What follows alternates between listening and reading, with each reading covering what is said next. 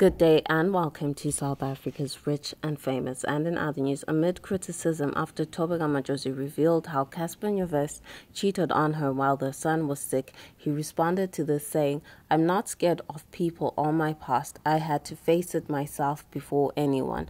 What do you want me to do? Hide? Point fingers? Tell my side of the story? Expose other people? Shift the blame? Nah, I'm here, say it all, go off, take your best shot. I Angithi y'all are perfect, while I'm not, never claimed to be. I'm a mess, a wretched, wicked man who was saved and cleansed by the blood of Jesus, he said.